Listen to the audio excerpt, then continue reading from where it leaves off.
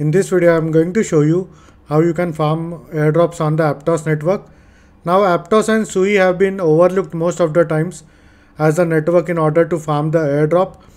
And uh, in order to farm the airdrops on Aptos, uh, maybe you can go to Liquid Swap over here and they have this page over here uh, where it will redirect you to airdrop page. Now links in the description.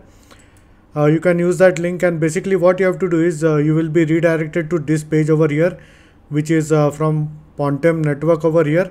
Now they have their own wallet. You can go ahead and download it if you want. If not, then you can use other uh, Aptos wallets such as Martian wallet or maybe Petra wallet. Uh, I like both of them to be honest. I use uh, Petra and Martian both of them.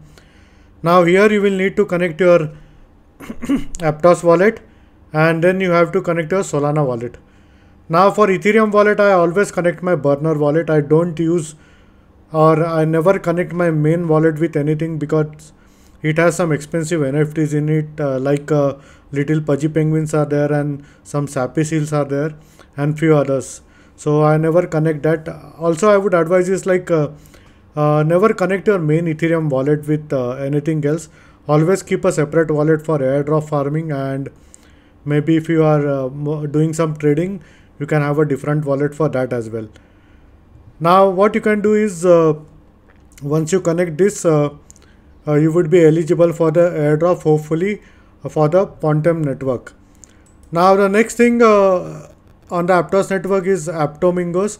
Now this is basically a NFT collection on the Aptos network and this is like the blue chip of uh, NFTs on Aptos. So if you go ahead and check the floor price over here as you can see the floor price is like 72 Aptos uh, token. So that would be roughly around if we check the price of Aptos, I think it's around $10 or so. So that would cost you somewhere around $700 minimum in order to get a Aptomingo NFT.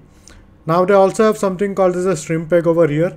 Now all you have to do is you will need to go ahead and connect your Aptos wallet first and then uh, you would be able to check how many eggs you can go ahead and mint. Now I have already minted the eggs over here. That's why it's showing 0 eggs now but you can go ahead and check it and go ahead and mint these eggs now they have mentioned that it will hatch at some point.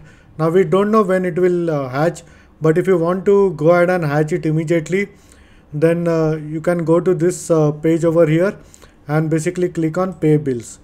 Now the this will fail. The reason being you will need to have something called as shrimp tokens in order to go ahead and hatch this. So Currently, uh, as per the current market price, one Aptos is equal to somewhere close to like 160, 170 shrimp tokens. Now, if we go to Liquid Swap and check over here, as you can see, one Aptos is close to 166 shrimp tokens. So this will cost you like uh, 10, 9 to 10 dollars in order to just hatch it. But if you want to go ahead and do it, uh, then you can go ahead and do it. Personally, I haven't uh, gone and hatched any of the eggs. The reason being I find it expensive and unnecessary expense. But maybe if you might have to or if you want to go ahead and do it, you can do it. Although none of this is a financial advice, do your own research. So for now, these are some of the things that you can do on Aptos network. There are many other things uh, actually that you can go ahead and farm on the Aptos network, but uh, I will make a separate video for that because uh, then the video would be a very long video and I would like to keep it short for you guys. So this is all for this video and in case if you have any doubts and questions, please feel free to leave a comment.